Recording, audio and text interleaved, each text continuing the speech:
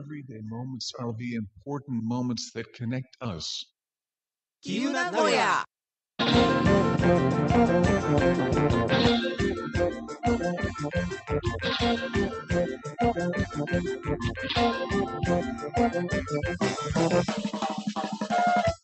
皆さん、こんばんは。8月9日火曜日午後10時になりました。名古屋にあるダンサースタジオから旧名古屋お送りいたします。今日のね、おたけびはですね、バーモントさん、ダブルピース領事マスクマンでございます。はい。えー、本番5分前にスタジオ入りしたギリギリ女の味噌煮込みスキーと、今日ですね、あ、あ、聞こえますね。はい今日ですね、いやー、と、すごい雨に降られまして、えー、雨雲レーダー見てましたら真っ赤なところにいたという段差でございます。はい。こんな3人がお届けします。今週のテーマは？ゆい、ゆい、魚、魚、魚。今週のテーマは、魚いゆです。メールアドレスは、kiyu.kiyu.nagoya、きゆ .kiyu.nagoya です。kiyu.kiyu.nagoya、きゆ .kiyu.nagoya です。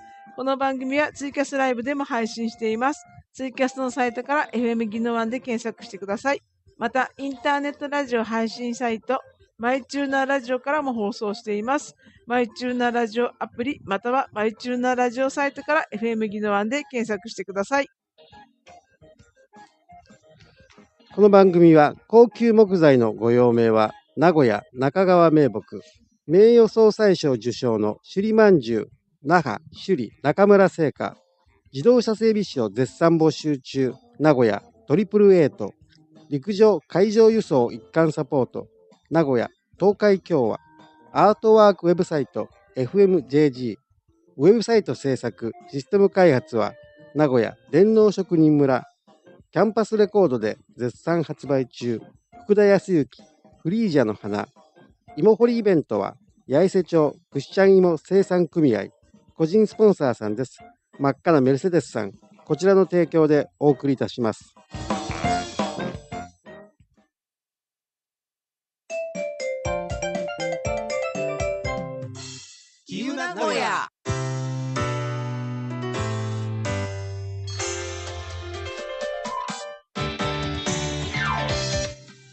はい、メールご紹介します。はいちょっとメール行く前にすいません、いいですか、はいうん、マスクマン、うん、テーマなんて言った？あの なんか、うん読み間違えてるよね。うん、読み間違えてるよ。あの、ちょっとね、あの、テークルの前にね、うん。もしかしたらなんか来るんじゃないかなと、ずっと見てたの。はい、来ましたね、皆さんからうんや反応がっぱ。り、と思って。あのー、しんいちさんから、王子、今、魚をゆいって言いませんでした？葛飾のちいさん、いゆ、あっと、いゆ、ドット名古屋？え？で、ペーターさん、ゆい、名古屋になってます。ほらほら、も あのね、もう静かにスルーしようと思ったらう。いね、やー、そうはさせませんよ。聞いてたよね、みんなねそうはさ。せませんよ。聞いてますよ。はい失礼しました。もう反省会ですはいね。はい失礼し。ました。では、はいお願いします。えー先週のあのカメラで来ています。はい、お願いします。はいえー、ハイタイ名古屋チームの皆さん、こんばんは。プチ更年期、アレックスです。あらあらそうなの？あら、えーうちの一番下の妹は、カメラ好きでよく写真を撮っていました。自分で現像したり、レントゲンみたいにフィルム見たり、大学ではそんなマニアックなことをして、今の旦那はカメラマンです。あら。そしてデジタルで処理するから、パソコンで修正。多分いい夫婦だと思います。ということでございます。いいですね。ねあの、旦那さんカメラマンさんで、あの、奥様カメラは好きでねうん好きでね。で、また、あの、いい被写体があって、ね、うんあの、奥様をね、撮っていい感じで、あれじゃないですか？あの、撮っていただけるっていうね。ねうえ、ん。もう、いいですね。いいですね。はい、ありがとうございま。ますす。えー、では、お三方さん、こんばんは。フルムンしんいちです。ありがとうございます。ありがとうございます。テーマ、カメラ。以前もお話ししましたが、えー義理のお父さんからのいただき物で、古い一眼レフカメラをいくつか所有しています。その中の一つが、ウクライナ製フェド 5B というカメラで、現在、激しい戦火に巻き込まれているかの地に思いを馳せています。ウクライナですもんね。うん一刻も早く収まることを願いつつ、このカメラを手に取りましたということです。うんああ、うんウクライナ製なんですね。なんか、ね以前も、なんか多分カメラの話で、いろいろメールいただいたんですけど、なんかちょっと今、この話を聞くと、ちょっとなんか、ね胸になんか来るものがありますよそうね。ですね。うこういろいろ感じることがね、ございますよね。はい、ありがとうごはいざいます。ありがとうございます。はい、続いてですね、えー、ダンサーズさん、みそさん、マザステーコゼロ、エクセレントスペリ王子、こんばんは。シュプリームです。ありがとうございますえーカメラは中1の時に、祖父から中古のニコンのカメラをもらったのと、ある日、父親が使いもしないのに、ニコンのフラッグシップカメラを買ってきたので、これらが、これらで写真を撮るようになり、中学時代に写真誌日本カメラや朝日カメラなどで何度も賞をもらい、プロになれるんじゃね？と思ったのですが、高校進学とともにカメラ熱は消え、再び一眼レフを買ったのは10年ほど前のことです。あら、でもすごいですね。この中学生の時にこういろいろ賞をもらってて。この日本カメラとか朝日カメラってちょろちょろっと見るとこうヌードが映ってるっていうね、う んそういうあれでしたけど。そういうイメージしかないのね。そこは、うんそこはね、あの、王子覚えてますよ。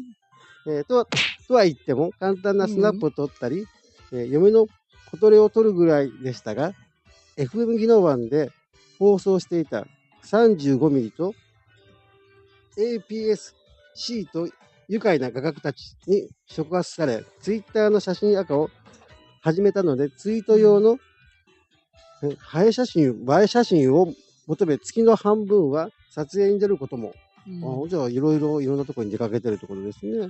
えーそうなると欲しくなるものが、新しい機材、風景撮影用の高画素機35万を買うか、星取り用の高感度機25万を買うか、それとも幸せになれる大三元ズームレンズ32万を買うか。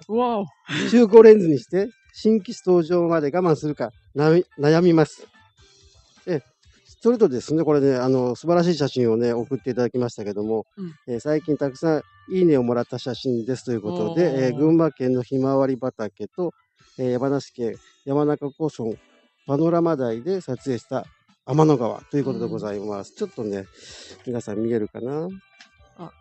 これ、綺麗ですねはい。ツイキャスの皆さんは？う、んうんうんちょっと、見せない方がいい。ねすごい、ひまわりの数がすごいな。うんよ。見えるかな？こんな感じかな？うん。ですね。うんすごいですね。綺麗なんですよね。うんただちょっとね、このスタジオのプリンター、色合いがうまく出てないね。あら、そう。う。うんしょうがないね。もう王子何でも素晴らしく見えちゃう はい、ありがとうございいま。ますす。あ、でもちょっと、うんもしよければ、こっちで映しましょうか。映せますか、映せるかな？よいしちょっと待ってくださいね。これ映せるかな？ょ。お、映るの？ちょっとあれだね、あのー間が真っ暗になっちゃうけど。出た出てない出た？あれ、あ、あ出た出た。ちょっとタイムラグあるんだよね。ああ、すごい。うんうんうんうん。ちょっと、だいぶ1分ぐらい黒くなって。うん。はい、出ますうん、ね。出ますね。おー、おーすごいすごい。もう1枚いけますかね。あ、2枚です。うん。うん、2枚です、ね。もう2枚目うんを。この天の川ですね。おー、すごい。うん。うんおー。こんな感じですね。こんな感じでう、んツイキャスのご覧の皆様は、ちょっとうん。暗い画面の後に。出てきますね。はい。ありがとうございますはい、ありがとうございます。では、えー、銭形警部さんからです。ありがとうございますます。私が高校生の頃、休みの日に使い捨てカメラを現像してもらおうと写真屋さんに行き、アルバイトの女の子に、このカメラを現像してくださいっていうつもりが、何を思ったのか間違って、のり弁くださいと言って大ボケをやらかしてしまい、後日友達に会うといきなり友達が私に、のり弁と叫んだから、私はなんでよと話したら、友達が言うには、写真屋さんのアルバイトの女の子は知り合いだったために、私がやらかしたことをしてしましまったために、私は友達からしばらくの間、あだ名をのり弁呼ばわりされていました。私の恥ずかしい銭形伝説の一つでしたということです。でもすごいよね。あの、全然関係離れてるもんね。だからね、ねあのーアルバイトの子に行ったんだけど、でも、うんその子とつつながりがあった友達うんに、うんのり弁って、ねね、あの、そこでのり弁って出るとこがすごいよね、うんどうしたんでしょうね。ね。ねうん。王子もなかなかそこまでの発想がなかったな。なんかお弁当のこととか考えながら、ね、ちょっとカメラさん行っちゃったんですかね。まあよくあるパターンとしたらね、うんあの、そこのお店のね、あの、スタッフの女の子をナンパするぐらいのね、でそういう言葉がけかなと思ったんですけど、おだまり。ああら、全然違ったからね。ねはい、ありがとうございます。。ありがとうございますす。なんかツイキャスで、あのー初参加、いつものラジオでしたっていうことで、黒島いゆなさんから来ています。ありがとうございます。ツイキャスで聞ありがとうございますくとライブみたいって。うん。うん。音が違うのかな、音が違うんですかね。ああ、ね。あの、とってもあの王子がいい声？いや、そこは書いてないで。あ、そういう声ではないのね。はい、では、メールどうぞ。えー、やってきましたね、今週のテーマ。はい。はい。いい魚でございますよ。はい。ちゃんとみんな聞いてね。いい湯だからね。えー、王子みそさん、ダンサーさん、こんにちは。えー、あんこの翼、あんつばです。ありがとうございありがとうごます。ざいます。えー、沖縄は明日から旧盆ですが、うん旧盆終わった後の楽しみは、お中元のみかんの缶詰と魚や果物の形をした工具ワーシー。工具ワーシーは、もち米などを蒸して乾燥させた粉と砂糖や水飴をこねて型抜きして押し固め乾燥させ食紅を引っ掛けて完成なんです。王子は工具ワーシー食べたことありますか？ということでございますが、王子は多分ないな。うん。うん、落眼みたいな感じですかね、あはいはい雰囲気的うんうんにはいはいは。はい。なんていうかな、うん落眼に近いような、ちょっとまた微妙に違うんですけどね。う。うんん。でもあの、あれ？あの、固まっててカチカチって感じ？そういうわけ、ちょっと弾力あるような感じですか？カチカチ、まあ、硬いといえば硬いし、硬いイメージがありますうんね。でも、そこまで硬くないといえばそこまで硬くないですけどね。うん。なんか、お供え物のイメージはありますよね。うん。はい、はい、ありがとうございます。えっ、と、あ、じゃあ、魚のテーマでいきますね。はいはい。えー岐阜の8人のバーバーさんからです。ありがとうございますありがとうございます。私は魚は刺身、焼き魚、煮付け、何でも好きですが、魚をきれいに食べられないんです。骨から身をきれいに外そうとしてもぐちゃぐちゃになってしまいます。魚をきれいに食べる人って育ちが良さそうに見えますよね。うちの息子は育ちがいいわけではないのですが、なぜか魚をきれいに食べます。私が誰に習ったの？って聞いたら、お母さんじゃないの？って言うんです。いやいや、魚の食べ方を教えることができるなら私だってきれいに食べてるはずよ。教えたのは私ではないよと私、息子から習わないといけないかも。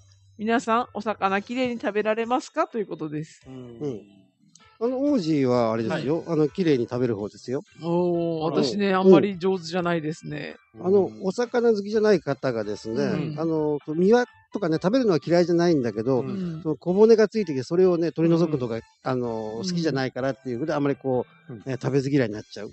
うんうん、そういうね、人もいましたね。魚好きなんですけどね、あんまきれいに食べれないんですよね。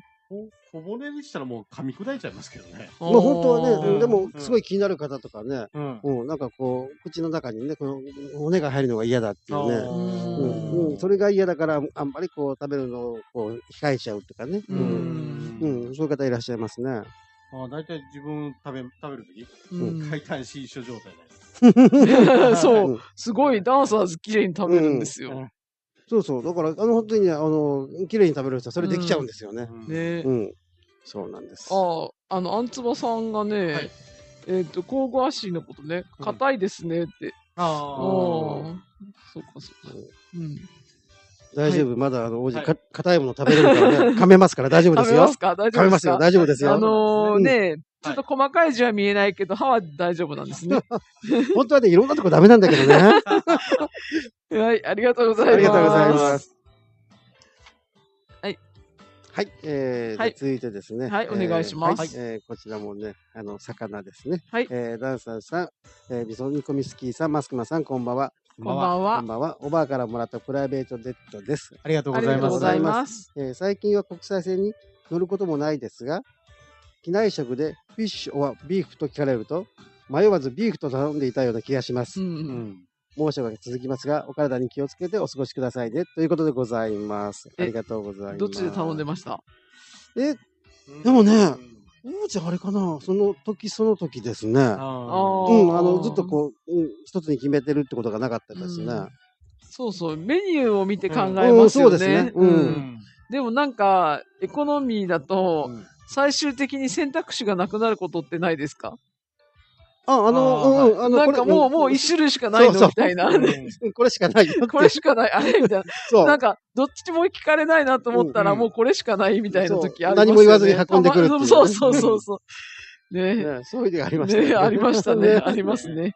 はい。ということではい CM でお願いしはいまはいす。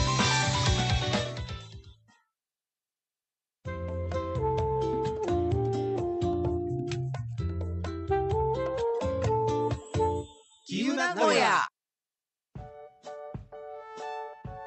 建設内惣菜のことなら名古屋の中川名木。奈良桜かりんなど各種無垢フローリング激安販売中。和室設計のサポートもいたします。電話番号名古屋052-625-1122名古屋市厚田区にあるトリプルエイトでは、フォークリフトの整備、塗装ができる社員を募集中。社員料完備。引っ越し費用を最大5万円まで負担いたします。興味のある皆さん、今すぐ052-653-0071、052-653-0071までお電話を。中村製菓は那覇首里に創業して64年、月桃や泡盛など激戦素材で作り上げた首里まんじゅうと君品、こだわりの琉球菓子をご賞味ください。ユーレール首里駅から徒歩3分、電話098-884-5901中村製菓。私ども東海共和の国内物流部は名古屋から北は北海道、南は沖縄まで最適な物流サービスを提供しております。これからも皆様の心強い物流パートナーとしてお問い合わせは電話052-389-7817東海共和まで。FMJG アートワークウェブサイト。オープン。オリジナルモノクロキャラクター。アンドオブジェクトの実験的ミュージアム。ご訪問は FMJG.jp まで。ただいま独自企画品開発中。名古屋にある電脳職人村はインターネット一筋22年サイト制作システム開発などニーズに合わせて提供します。最高の品質最高のノウハウ最高の感動をお客様に。お問い合わせは電話052-232-8333または電脳職人村で検索。ただ一つ叶うならお母さんに会いたい。その思いが僕の心を動かし歌にしました。福田康之プリージアの花キャンパスレコードにて絶賛発売中。ねえねえ、学校のイベントは決まったの？まだなら八重瀬町の畑で芋掘り体験はどう？一人500円で約2キロの芋を持って帰るって。予約は098-998-4010ぐしちゃいも生産組合あさとに電話したらいいさ。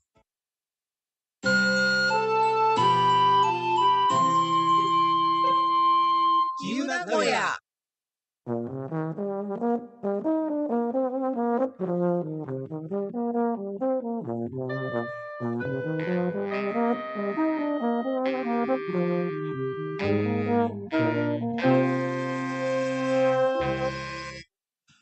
はい。はい引き続きメールね。紹介いたしご紹介しま。ますす。あのね、うん。その前にちょっといいですかね。はいあのね、はいずっとね、あの、オープニングのね、うん。この魚のね、うん。イフがね、ずっとね、心にね、染みてね、うん。抜けきらないのよね。どうしたの？どうしたん。ですかあの、あちょっと落ち込んでる？えちょっと落ち込んでる。ね。もうあの、みそちゃんのね、振り仮名振ってくれたのは良かったんだけどね、うん。魚じゃなかったもんね。イフって書いてあったから、うん。もうそこでね、いつの間にかうん。ユイに変わっててね、なんかそれがね、オープニングからね、ちょっと心に突き刺さってるあんですね。だからちょっと今日テンション下がり気味なの？そうそうなのちょっとなんかね、うんあのそうでしょ？テンションでもね、葛飾のチンさんがね、はいゆいまーるでって。ああらほらナイスフォローですね。ねナイスフォありがとうございます。はい。で、まあ、ちょっとこちらから言いたいのは、うん。今日も冷えるわね。はい。まあ、そんなこともあります。はい。はい。では、メール紹介します。お願いします。えーはい。ラジオネーム、沖縄大好きさんです。ありがとうございます。ありがとうございす。ます。王子様、ダンサーズお兄さん、味噌煮込みお姉さん、こんばんは。こんばんは。あの、持ち上げられても何も出ないです。なんでみんな素直にさ、なんか、こんばんはって言わんの？こんばんは。えこんばんは。ちょ、シーンってなったからどうしようかと思って。何も出ないな。もう嫌な大人たちだよ。はい。えー沖縄大好きです。ふんす。フースはい。あそこはいいんだね。あはい。はい。メッセージテーマ、よ。ではなく、テーマ、いゆ、魚。ちょうど今、お魚食べてます。母が知人からもらった釣れたてのカツオを刺身にしたのですが、焼いて塩コショウで味付けして食べてます。え、なんで？それはそれより私が気になったのは、もらって釣れたてのカツオを刺身にしたけど、焼いて食べてるってどういうことなんだろう？あの、刺身用に短冊とかにして、それを焼いてんのかな？炙りじゃなくて。あ、炙りじゃないよ。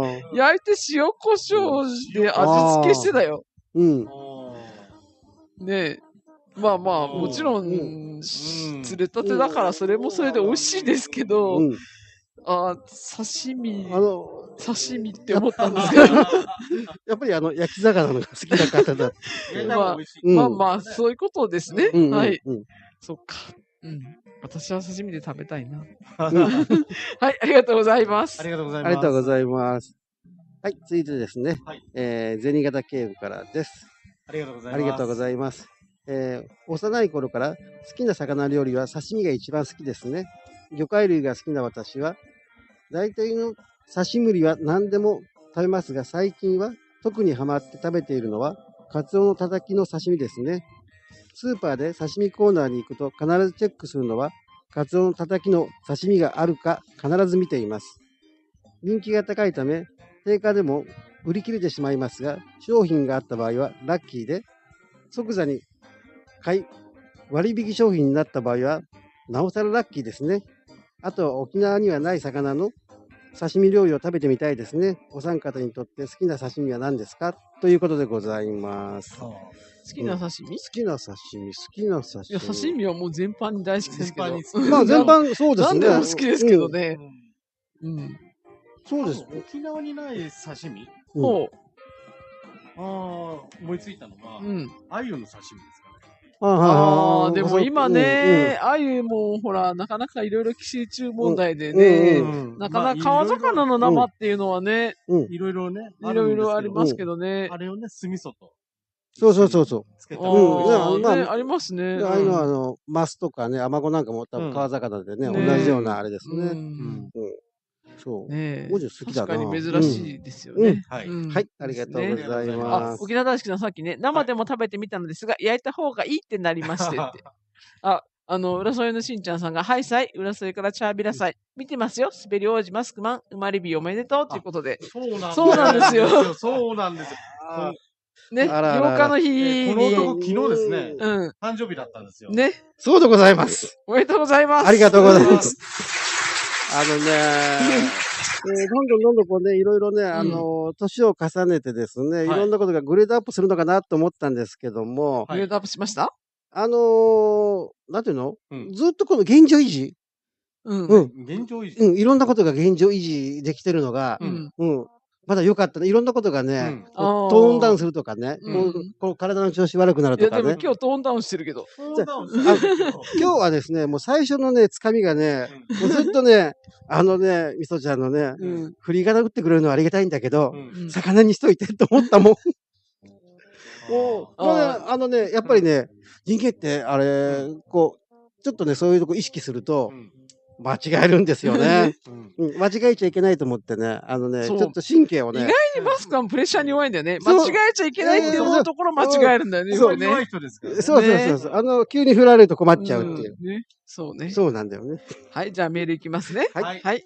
えー、フルムンしんちさんからです。ありがとうございます。ありがとうございます個人。的に魚といえば魚天ぷらですかね。大好物です。中身に何が入っているかはわかりませんが、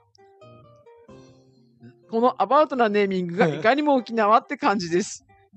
中身に何が入ってるかわからないっていうの。は、ああ、イカかて魚かわからないっていう意味かあー。な。うん。うん。その、また、わ食べからないですね、てあれ？さうん。イカじゃなくて魚だったとかね。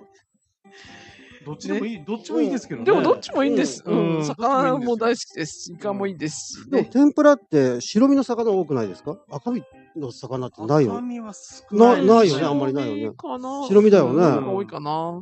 うん。でいいですねあ天ぷらあのツイキャスですね。うんみぐれさん、日々の寒ぶりお刺身食べたい。うんいやいや、う美味しいんじゃないですか。うんご覧のもんですよねいいですか。うん。えー美味しいですよま白いキャンディーさん、グルクンの唐揚げ大好きです。ああ、いやいいですね。グルクンもあ、いいな。グルクンいいですね。うん同じくですねうんいいですね。はい。はいはい。ということで、メメールいきますよ。はいはい。えー、シュプリームさんからです。ありがとうござありがとうごいます。ざいます。テーマ、いい釣りなんて10年以上行ってないですが、一時期、お嬢と福井の若狭湾まで釣りに行っていたのですが、自分は、魚独特の肌触りと匂いが苦手で、釣った魚は怖いものなしのお嬢が外してくれましたね。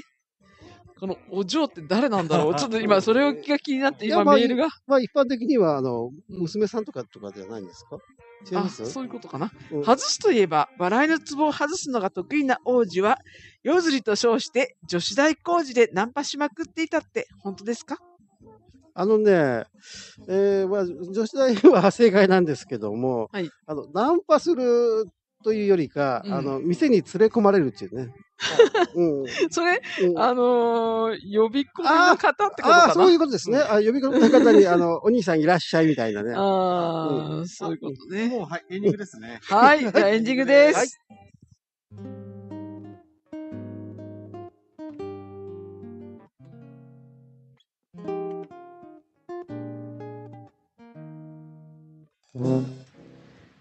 来週のテーマは？